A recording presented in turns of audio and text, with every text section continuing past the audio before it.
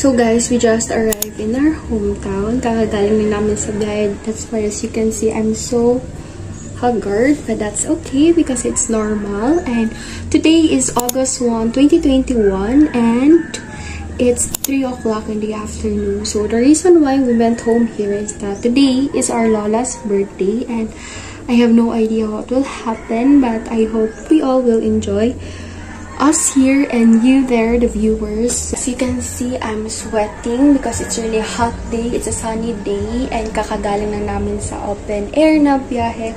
That's why dagdag dust and everything, choo-choo. I'm here in the room um, filming since dito yung quiet place.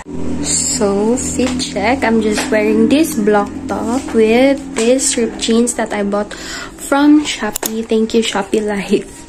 And my flats na galing din sa Shopee. So, salamat Shopee! Hi guys, we're here outside chilling with Bunsoy. Hi, say hi. Hi. Hi guys. Hi guys. YouTube. YouTube? Online. Online? Go to download. Na say hi guys. Hi guys. Ano hi? Hi guys.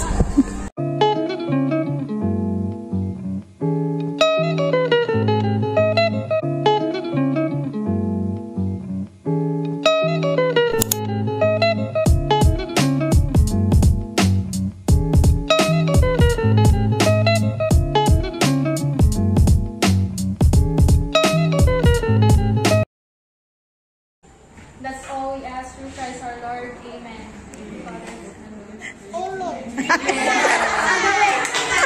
Kanta, kanta. Happy birthday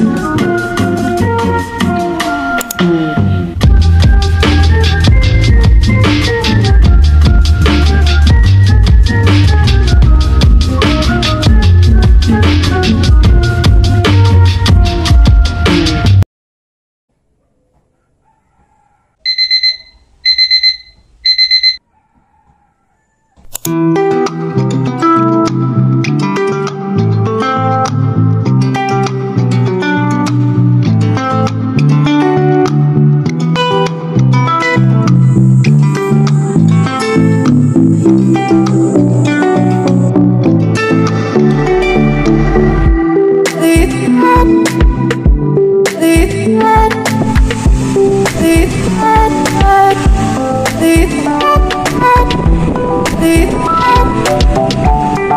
already here, guys. It's a bit late, but still fine.